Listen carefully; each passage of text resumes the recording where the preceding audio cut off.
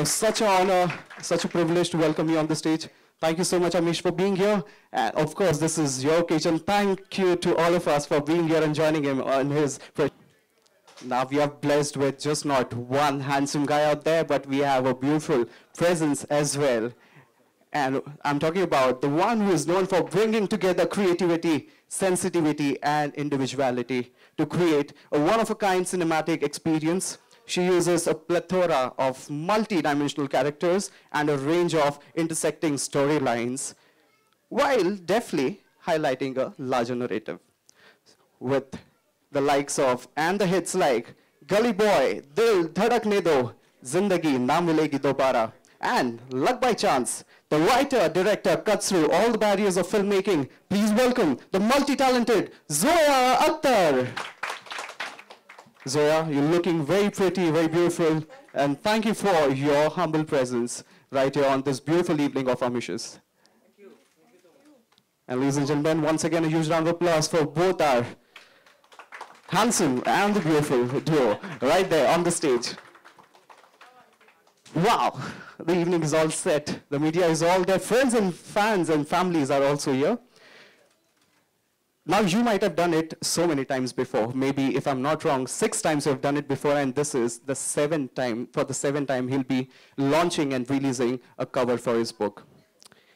For author, yes, you might be not that nervous, but when I ask you, from the point of view of being a human being yourself, obviously there would be some nerves creeping in. So I would want to know your thoughts and your emotions on this very occasion. Uh, yeah, I, I, when I'm writing, I don't think about anyone else at all. I just, I just love what I do. Uh, when I'm writing, it's just, I'm just lost in my own world. That's the best part of my life. When I start marketing, of course, I start getting a little antsy, a little nervous. The publisher invests a fair bit of money. So uh, he needs to make sure that uh, I need to make sure that he recovers his money. So yeah, of course. So Zoya, you've been to any of the launches before, any of the cover releases before? If not, then if this is the first time of yours, what are your thoughts right now and being present with the author himself besides you? I would really want to know from you.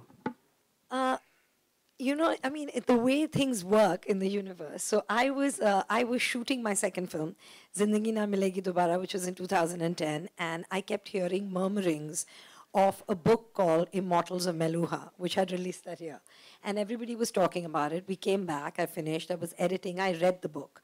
And I was like, in my head, I had already started making the film. I had already cast Hrithik Roshan, Meshiva, all this was happening. And I, much later, I mean, realized that there was already cat fights all over the industry for the rights.